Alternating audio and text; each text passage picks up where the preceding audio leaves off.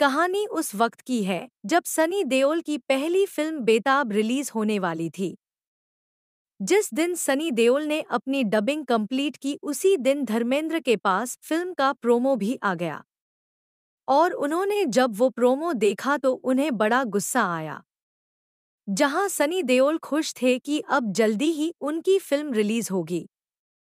तो वहीं सनी की डबिंग सुनकर धर्मेंद्र का पारा हाई था। होता भी क्यों नहीं? सनी को लॉन्च करने के लिए वो कड़ी मेहनत कर रहे थे।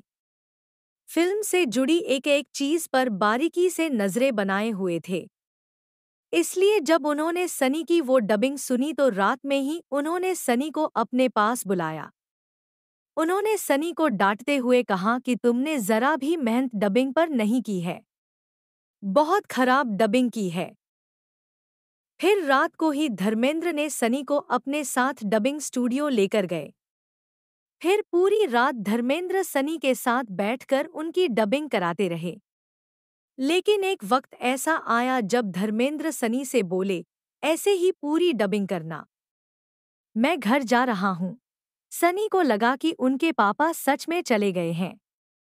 चूँकि वो काफ़ी थक चुके थे तो उन्होंने डबिंग करा रहे टेक्नीशियन से कहा कि अब काफ़ी टाइम हो गया। अब कर रिकॉर्ड करेंगे।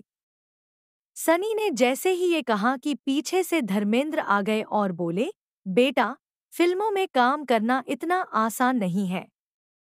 यहाँ हर चीज़ वक्त पर की जाती है। दरअसल सनी से घर जाने की बात कहकर धर्मेंद्र चुपके से प्रोजेक्शन रूम में जाकर बैठ गए और वहाँ से सनी की डबिंग सुनने लगे। जबकि सनी को लगा था कि वाकई में धर्मेंद्र घर चले गए हैं। उस दिन धर्मेंद्र ने सनी को पूरी रात बैठाया और डबिंग कंप्लीट कराई। धर्मेंद्र ने सनी के लिए जो मेहनत की थी, उसका फल भी उन्हें मिला। पहली ही फ़िल्म से सनी देओल स्टार बन गए। बेताब ने बॉक्स ऑफ़िस पर ज़बरदस्त कामयाबी हासिल की थी। यानी ये कहने में कोई गुरेज नहीं होना चाहिए कि सनी आज सनी देओल ना होते अगर उनके पिता धर्मेंद्र ने उन पर इतनी मेहनत ना की होती। इसलिए धर्मेंद्र जी को बिग सैल्यूट जिन्होंने पंजाब के एक छोटे से गाँव से निकलकर पहले खुद का इतना बड़ा नाम फ़िल्म इंडस्ट्री में बनाया। और फिर अपने पूरे खानदान की किस्मत पलट दी। आपको यह जानकारी कैसी लगी हमें कमेंट करके ज़रूर बताएँ। और ऐसे ही मज़ेदार वीडियो के लिए हमारा चैनल सब्सक्राइब करें।